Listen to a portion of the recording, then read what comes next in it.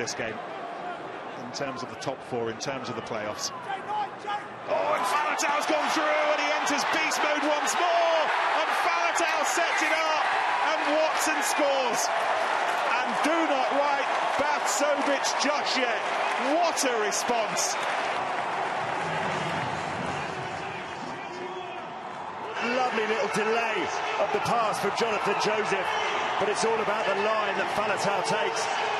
And then the ability, once you do make the break, the awareness, look at that step. That's a step of an international, Ben Youngs.